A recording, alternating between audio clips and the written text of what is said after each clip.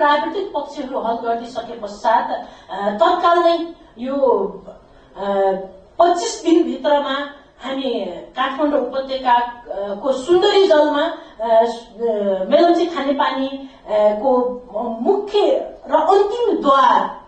छ त्यो द्वारलाई सफल बनाउँछौ र त्यो बीचमा हामी त्यो द्वार ब्रेक थ्रु गर्छौँ भन्ने कुरो गरिराखेका छन् र पच्चिस दिनको डेट दिएको छ जो अ,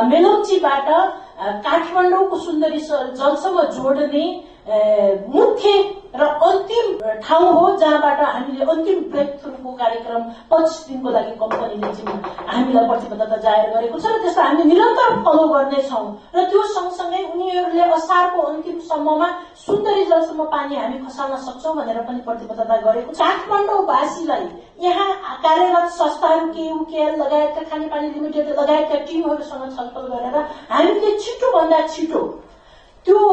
सुन्दरी जलबाट सुन्दरी जलमा आइपुगेको पानीलाई काठमाडौँमा वितरण गर्नका निम्ति त्यसका सहजीकरणका पाटा पक्षहरू के हुन्छ नयाँ ऊ पानीका धाराहरू जोड्ने कामहरू भइराखेको छ पाइप बिछ्याउने कामहरू भइराखेको छ र यी सबैहरूलाई मिलाएर कम्तीमा नै हामीले दसैँ अगाडि काठमाडौँ जनतालाई सुन्दरी जलको पानी घर घरमा पुर्याउन सक्यौँ भने ठुलो उपलब्धि हुन्छ। मैले जुन काम लिएको छु मुख्यत मेलम्चीका मेलम्चीलाई काठमाडौँ भित्र आउने सन्दर्भमा जुन स्पिड कायम गरिराखेको छ र त्यसलाई कहीँ कतै पनि रोकावट हुन नदिने गरेर कुनै पनि समस्याहरूका कारण त्यो कार्यलाई स्थगित गर्न नदिनका निम्ति मैले आफ्नो ठाउँबाट पहल कदमी गर्नेछु र